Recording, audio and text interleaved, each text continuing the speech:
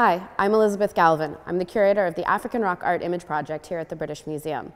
Today we're going to be talking about photo manipulation and how we can see rock art that's invisible to the naked eye.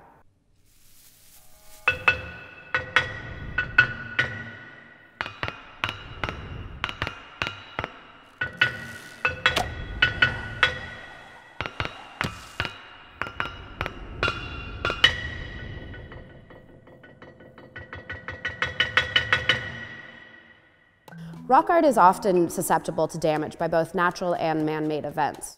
Oftentimes, the rock art is out on an outcrop or a boulder that's out in the open, so sunlight, wind, rain, a lot of factors can make rock art fade. But one of the biggest threats to rock art is actually humans. People chipping away rock art for building material or souvenirs, graffiti, are all destroying rock art, which has been practiced for tens of thousands of years throughout Africa. But now, through different technologies, we've recently been able to bring back the details, seemingly lost by time, by taking photographs of the faded rock art and then taking these photos and sending them through various photo manipulation programs. What we're actually able to do is turn up different pigments and run it through various filters. For example, this piece here just shows a completely faded rock face. We don't know what's really going on in this tableau. There's possibly a quadruped, which is a four-legged animal of some sort, and we really can't see much else. When we run it through this one lens, we're actually able to see an elephant, shown here in bright pink. Now this wouldn't have been the actual color of the pigment that was used. But instead, software is reacting to the traces of the pigment, so we're able to see the outline and the shading of what it would have looked like. Run it through another lens, and we're actually able to see a full hunt scene, complete with archers, uh, and there's also some swimming figures that we can see that are going around here.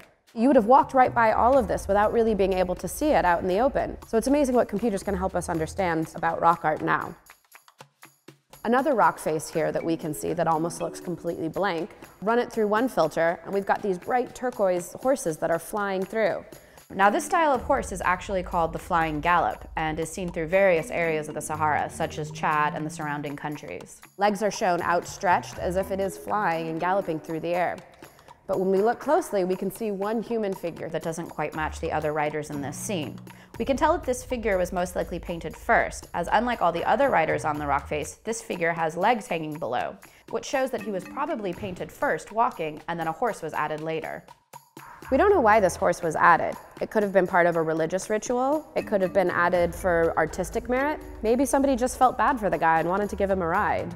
Through computer programs like this, we're able to see how rock art was changed and adapted. But most importantly, creating a record like this, we're able to prevent rock art from being destroyed. So this is why digital preservation is so important.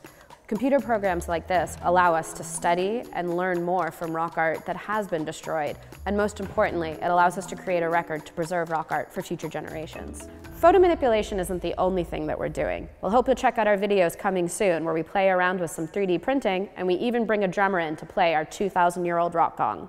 Check out our website for more information. And make sure to subscribe to the British Museum's channel. Thank you.